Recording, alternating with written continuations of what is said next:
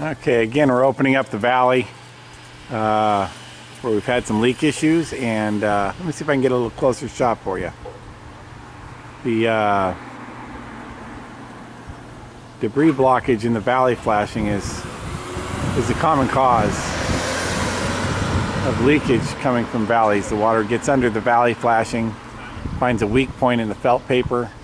You can see the debris in the valley there, uh, and then and or there's other factors, uh, nails too close to the valley center, uh, that sort of thing. So we always clean the valley out, inspect the metal flashing closely, and uh, then reassemble or re-roof the area uh, involved in uh, what we had to take apart to get to this uh, problemed area. You can see many more examples of different types of roofs on our website.